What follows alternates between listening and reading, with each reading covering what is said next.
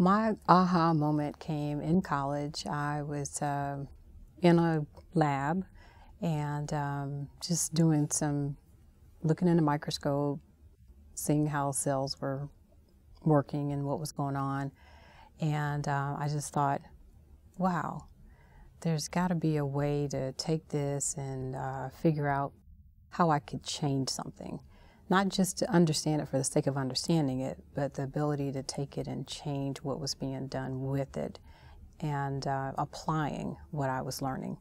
So my aha moment came when I just there decided that, well, I think I can take this and maybe look at being a bioengineer. And so that's kind of what led me down that path.